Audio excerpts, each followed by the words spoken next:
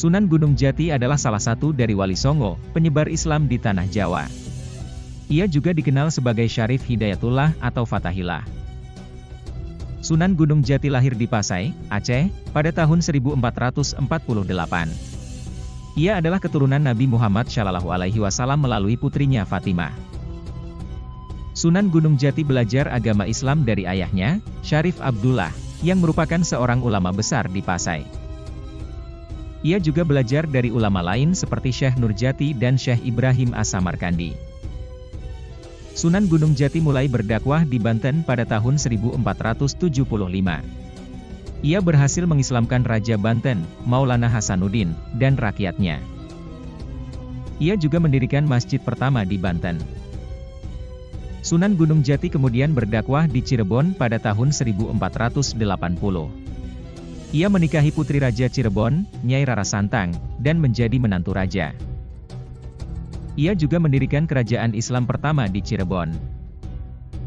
Sunan Gunung Jati memimpin perlawanan melawan Portugis yang menyerang pelabuhan Sunda Kelapa pada tahun 1527. Ia berhasil mengusir Portugis dan mengubah nama pelabuhan menjadi Jayakarta. Sunan Gunung Jati juga membangun masjid-masjid besar di Cirebon, seperti Masjid Agung Sang Cipta Rasa dan Masjid At-Taqwa. Ia juga mendirikan pondok pesantren untuk mengajarkan ilmu agama. Sunan Gunung Jati memiliki banyak murid yang menjadi ulama dan wali, seperti Sunan Kudus, Sunan Kalijaga, Sunan Muria, dan Sunan Bonang. Ia juga bersahabat dengan wali lain seperti Sunan Ampel dan Sunan Giri. Sunan Gunung Jati wafat pada tahun 1568 di usia 120 tahun. Ia dimakamkan di Gunung Jati, Cirebon, yang menjadi tempat ziarah bagi umat Islam. Makamnya dikelilingi oleh makam para raja Cirebon. Sunan Gunung Jati dihormati sebagai salah satu tokoh penting dalam sejarah Islam Indonesia. Ia dikenang sebagai pejuang, pendakwah, pembangun, dan pemimpin yang bijaksana dan berwibawa.